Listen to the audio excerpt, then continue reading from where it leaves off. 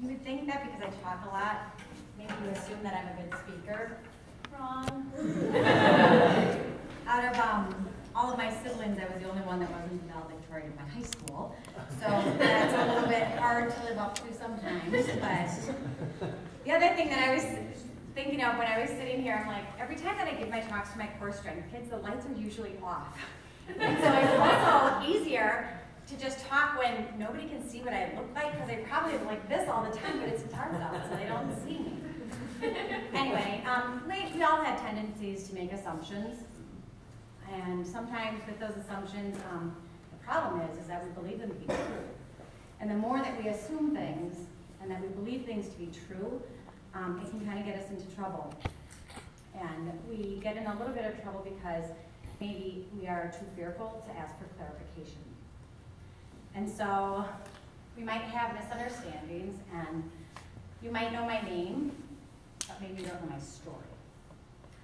Um, so I come from this family of really, really intelligent, um, super smart, super artistic, really, really musical brothers and sisters. They were gifted. Um, I'm the only one in my family that was adopted.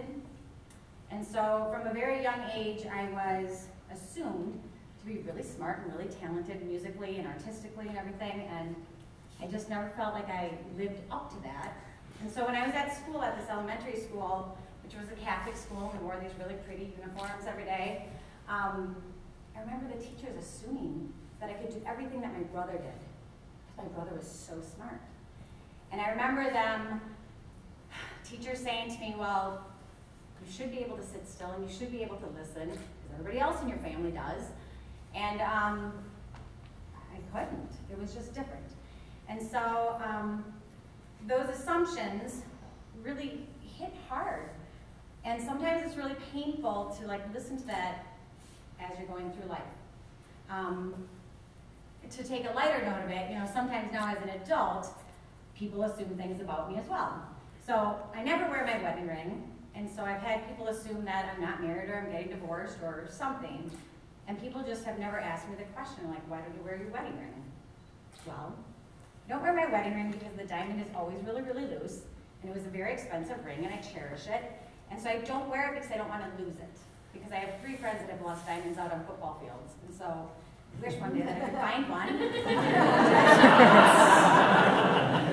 but, but I don't wear it. So please don't assume that I'm not married or that I don't have a husband or something else is going on because I don't wear my wedding ring. Or some people assume, and people have said this to me, well, Mrs. Godfrey, make this look really easy because you're such a good athlete.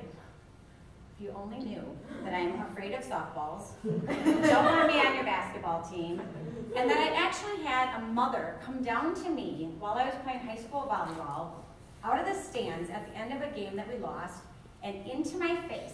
You are the worst athlete I've ever seen.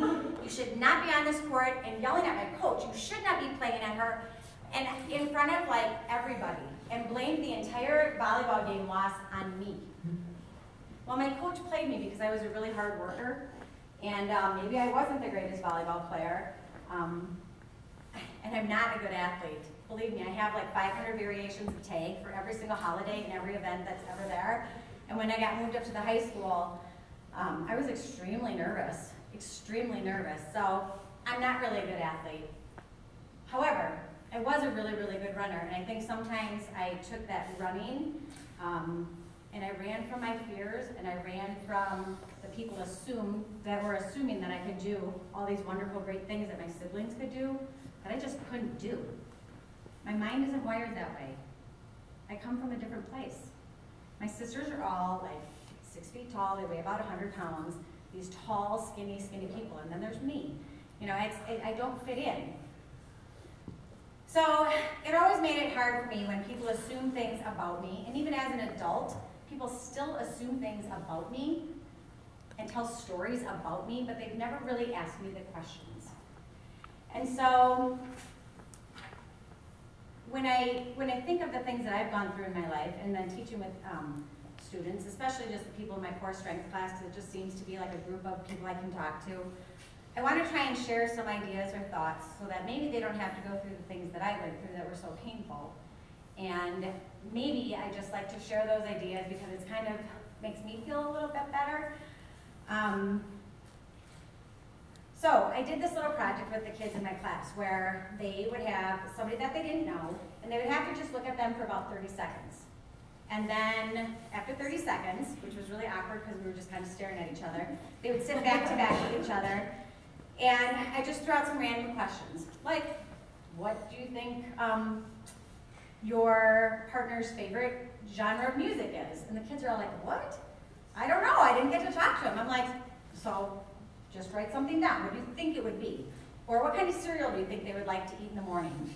And that was, they were like, I have no idea. And so after a couple of these questions, then they turned around and they shared their answers with each other. And then we talked a little bit about like, well, how did you come up with your answers? And they said, well, I had to guess or I had to assume what they would look like, what would they would like. And I said, well, how did you come up with those assumptions? Well, maybe by what they were wearing, or maybe, you know, I've seen them in school or something. And I said, so you pretty much had to guess or assume what they would like. Mm-hmm. So we talked a little bit about that, and then I said to them, well, don't we do that in life? Like you walk into the cafeteria and you see somebody, maybe half their head is shaved. You just assume that they're a freak? Do you assume that the girl that's sitting alone eating every single day for four years in this high school, I've never seen anybody sit with her. Well, once I did. But she sits there by herself every day. So am I assuming that she wants to sit there by herself? Am I assuming that she likes to be sitting there with her headphones on and she doesn't want to be bothered?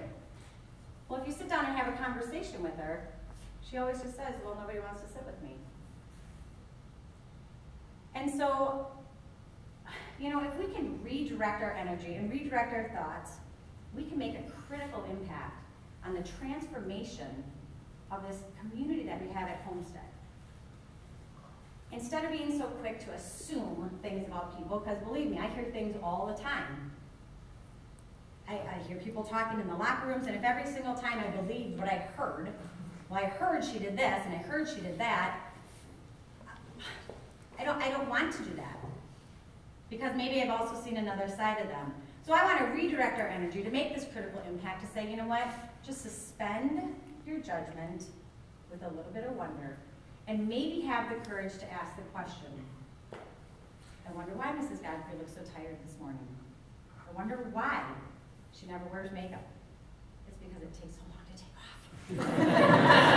I wonder why.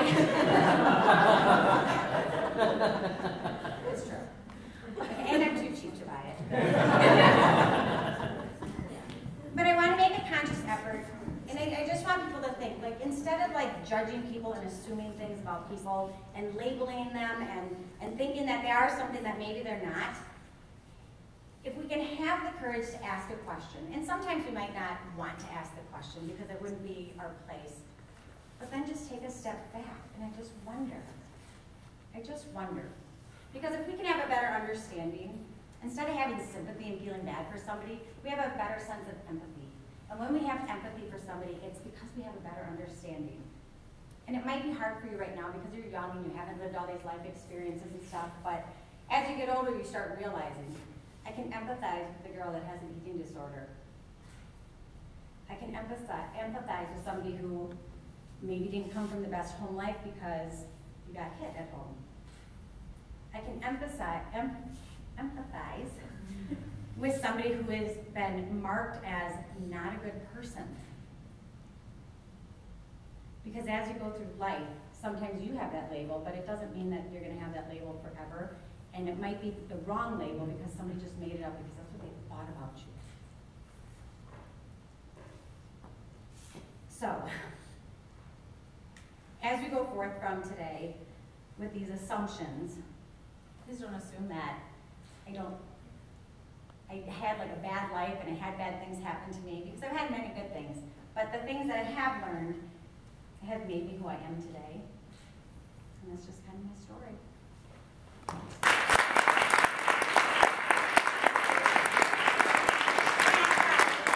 I want to say thank you for having me come. They asked me last year too, and I think I was a little too scared and we were out of town. But the reason that this really is valuable